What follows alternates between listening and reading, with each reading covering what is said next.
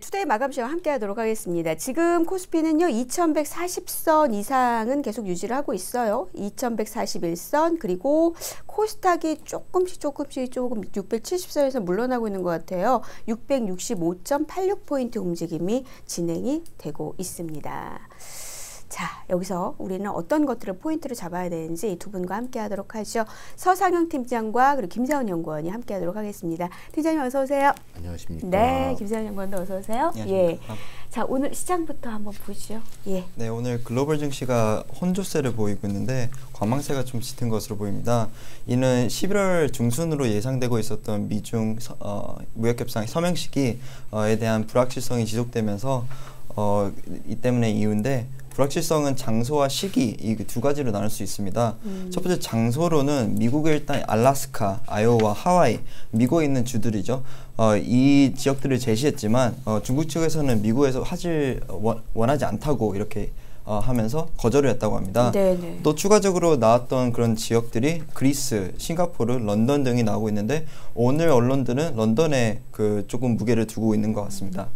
어, 시기로는 어제 어, 나왔던 소식이죠. 12월로도 연기될 수 있다 이런 부정적인 소식이 나왔는데 아직은 노이즈 같습니다. 어, 그 고위급 인사에서 이렇게 확인이 되지 않는 소식이기 때문에 그래도 부적, 어, 부정적인 노이즈가 나왔는데 음, 이번 주 초에 그 아, 하지만 음. 그 이런 부정적인 소식 노이즈가 나옴에도 불구하고 매물은 좀 대, 제한적인 그 흐름입니다. 이유는 어, 그 아직 무역 합의가 조금 가능하다고 시장이 보는 것 같은데 네. 어, 이번 주 초 FT가 그 트럼프 행정부에서 어, 미국이 부과하고 있는 관세 중 일부를 철회를 고려하고 있다는 소식이 나왔습니다. 만약 이 철회가 실제로 의논이 되고 있다면 어, 추가적인 협상이 필요하기 때문에 어, 더 큰 협정을 위한 그런 연기 라고 음. 해석할 수도 있겠습니다. 음, 알겠습니다. 그러면 좀 짧게 오늘 저녁에 지켜봐야 될 경제 지표 한번 정리를 해주시죠. 예. 오늘 저녁에 주목해야 될 것은 세 가지입니다. 첫 번째는 BOE의 통화정책 회의 결과, 그리고 두 번째는 독일의 9월달 산업 생산, 세 번째는 미국 기업들의 실적일 것으로 보입니다. 음. 일단 BO의 통화 정책 스탠스는 지난번과 좀 거의 비슷하게 나올 것 같고, 그리고 두 번째 독일의 산업 생산은 어, 어제 발표된 공장 수주가 호조를 보였기 때문에 거기 그거를 감안하면 조금 양호하게 발표될 것 같습니다. 이 양호한 폭이 얼마나 클지 어, 좀 주목해야 될 것 같고, 나머지 마지막으로 어, 미국 기업들의 실적이 있는데 네. 주목해야 될 기업들이 어, 디즈니, 카디널 헬스, 조에티스, 부킹닷컴 이 정도가 있습니다. 예, 알겠습니다. 부킹닷컴과 디즈니가 눈에 보이네요.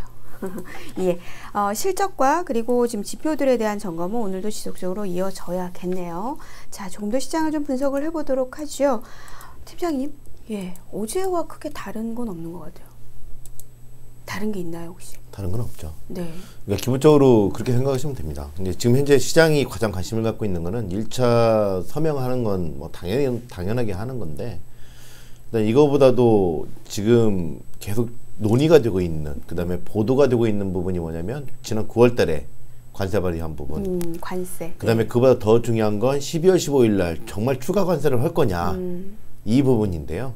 이게 왜 그냐면 연말 쇼핑 시즌에 직격탄을 줄 수가 있기 때문이죠. 거기 소비재가 들어가요. 어, 소비재들이 대부분이죠. 네, 네, 네. 그다음에 지난번 9월 1일 날 했던 건 의류나 음. 신발 음. 뭐 이런 것들이 다 들어가 있는 거고. 그다음에 12월 달에는 뭐 스마트폰이라든지 뭐 이런 것들이 다 들어가 있는 거라서 만약에 여기에서 연기를 해 주면 그나마 좀 이제 근데 물론 이제 이게 무역 협상의 시청자분들도 그건 꼭 기억하고 계셔야 돼요. 뭐냐면 이 무역 협상에서 이게 타결이 되고 말고 이게 중요한 건 아니에요. 뭐냐면 관세 처리가 돼야 돼요. 네. 그때 만약에 뭐 뭐라 드라마틱한 그런 어, 협상이 이루어졌다는 것을 말씀하실 때 그러려면 관세가 절폐가 된다고 네. 그렇게 말씀을 하셨었어요. 이 관세가 네. 왜 중요하냐면 이 관세로 인해서 지금 계속적으로 부담을 갖고 있는 게 미국 기업들이거든요. 네. 어 그리고 이제 소비자들. 네, 미국 기업들 같은 경우는 이걸로 인해서 실적이 계속적으로 둔화되고 있는 상황이고 나중에 가서는 이거로 인해서 일단 뭐 실업률이나 이런 것들이 또 치고 올라갈 수가 있기 때문에 음. 상당히 부담스러울 수밖에 없어요. 음. 근데 지금 만약에 이제 실적이 계속적으로 둔화돼 버리면 시장은 뭐 좀 부담을 가질 수밖에 없는 거죠. 지금 현재 시장의 가장 큰 문제가 뭐냐면 실적이 개선이 되고는 있는데 우리나라 같은 경우는 개선이 되고 있는데 개선폭이 저조해요. 네. 그러니까 지난 7월 26일 날 150, 12개월 포워드 영업이익 자체가 150조를 찍고 음. 그 다음에 지금 한 달 반 거의 두 달이 넘었는데 지금도 아직도 157조. 음. 그러니까 거의 올라가는 게 스물스물스물스물 올라가고 네, 있거든요. 네, 네. 그러, 물론 이제 그렇다고 치더라도 바닥을 확인했다는 것 때문에 8월 중순 이후에 우리나라 주식시장이 한 10% 넘게 강세를 좀 보였던 점이 특징이고요. 근데 문제는 여기에서 계속적으로 증가하지 못하고 있는 거. 음. 그다음에 미국도 earning surprise율이 상당히 높긴 해요. 76%나 되니까 우리는 한 50%대밖에 안 되지만 음. 그 76%가 earning surprise가 나왔는데 이게 새로운 게 아니라 원래 얘네들 금융위기 이후에 되게 낮게 하면서 대충 한 75% 내외에 70에서 75% 정도 내외의 surprise율을 항상 보, 그 기록을 그렇죠. 했었거든요. 예. 워낙 엄청 심하잖아요. 음. 그렇기 예. 때문에 이게 뭐 와, 미국 엄청나다 뭐 이런 음. 식으로 해석할 필요는 없는 거고요. 뭐 그러다 보니까 뭐 surprise율은 되게 높긴 하지만 기업 그 관세 바로 때문에 기업이익 자체가 YoY로 전년 대비 2.7% 현재 3분기도 둔화되어 있는 상황. 뭐 그러고 있는데 지금 현재 사상 최고치 갱신했잖아요. 음, 부담이네. 예. 이제 fundamental에 예, valuation에 이제 문제가 생기는 거죠. 음. valuation 자체가 이제 상당히 부담스러운 모습. 여기에서 이제 만약에 시장은 또 거기에다가 최근 들어 상승을 이끌었던 게 결국 미국과 중국의 무역 협상 거기다가 그 미국이 사상 최고치를 딱 경신했던 그날이 뉴스가 뭐였냐면 관세철에 음.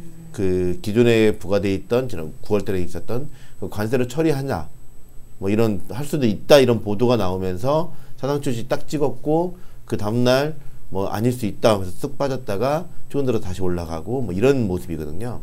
예, 관세 쪽에 이제 초점을 맞춰서 움직이는 거고 우리나라 주식시장도 마찬가지라고 보시면 돼요. 네네. 네. 우리나라 주식시장도 그런 흐름을 좀 보이기 때문에 어, 지금 현재 시장에서는 여기서 상승 모멘텀이 없는 상황이잖아요. 음. 이 전체적인 일정이라든지 뭐 이런 것들이 나와주면 뭐 전체적으로 그걸 기반으로 해서 좀 더 올라갈 수는 있을 것 같아요. 우리나라는 음. 왜냐면 아직까지도 뭐 평가 자, valuation 자체가 뭐 그렇게 뭐 나쁘지 않으니까. 높은 편 아니니까. 음. 예, 예. 뭐 그런 상황이기 때문에 뭐 전반적으로 지금 현재 그 틈을 이용을 해서 대체적으로 종목별 차별화. 어저께 같은 경우 뜬금없이 막 내수주가 튀고 올라가고, 음. 뭐 오늘 같은 경우 보험주하고 통신주가 또 치고 올라가고, 그러니까 막 돌아가는 거죠. 막. 네. 근데 이게 뭐 하루가 아니라 이틀, 삼일 이렇게 가는 게 아니라 음. 하루 만에 후훅 바뀌니까 사람들이 대응을 못해요. 그러니까 이거 잘못하면 큰일 나거든요. 음. 예. 그러다 보니까 이제 중국 증시도 마찬가지예요. 중국 증시도 뭐 전반적으로 3천 이상 올라갔다가 거기는 살짝 조정을 받긴 했는데 거래 대금 자체가 확 줄었어요. 예. 예, 다들 관망하고 있는 거죠. 음. 예, 그런 내용들이 좀 나와줘야만이 좀 반등을 할 요인이 있는데 음. 아직까지는 좀 부담스럽고 아마 오늘도 음. 오늘도 계속 이런 식의 움직임이 계속 이어져 왔었다고 보시면 될 것 같아요. 네. 뭐큰 변화를 보이기보다는 종목별로 그냥 그 외국인하고 기관이 매, 순매수한 업종 같은 경우는 좀 많이 올라가고 네. 뭐 양쪽이 또 파는 종목들 같은 경우는 또 빠지고 뭐 이런 식의 결국은 움직임. 유동성이 좀 많이 안 들어와 있는데 유동성으로 움직이는 종목들은 엄청나게 지금 시세가 나고 있다는 그쵸. 얘기네요. 예.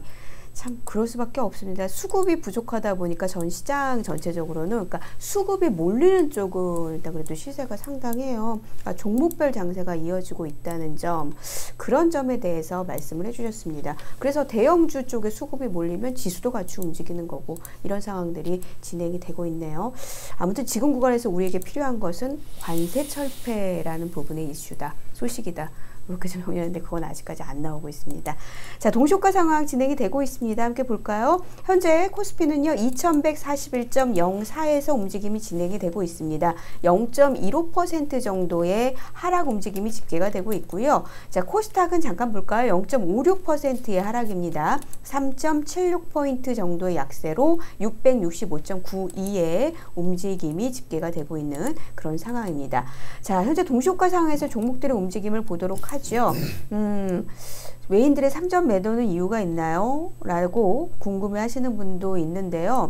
일단 앞서서 이제 5만 3,500원을 뚫기에는 또 여러 상황들을 봐야 되는 여, 앞서 전략이 있었어요. 네, 김충달 전무가 함께 이야기를 나눠봤는데 그런 부분도 있고 지금은 일단 또 다시 한번 이 옵션 만기 구간으로 좀 들어간 그런 부분이기 때문에 어, 그런 점에서의 속도 조절이나 삼성전자를 통해서 지금 지수 조절이 되는 게 아니냐 이런 얘기도 좀 나오고 있는 상황입니다. 그래서 삼성전자 가 움직이기 쉽지가 않네요. 현재 52,700원권의 움직임이 동시효과 상황에서 집계가 되고 있는 그런 상황이고요. 오늘 상승률 상위 종목을 보면 다시 보험주 쪽의 움직임이 있고요. 그리고 뭐 오늘 오랜만에 항공주 보는 것 같습니다. 대한항공도 상승세, 소비주들의 움직임이 어제에서 오늘도 괜찮은 흐름이고요. 특히 어, 통신주들도 오늘 LG 플러스, SK텔레콤 모두 상승률 상위 쪽으로 올라오고 있는 게 거래소에서는 많이 눈에 띄고 있습니다. 자, 동시효과 상황 다시 한번 점검해 보시기 바랍니다. 저희는 먼저 내일장의 투자 전략으로 가보겠습니다.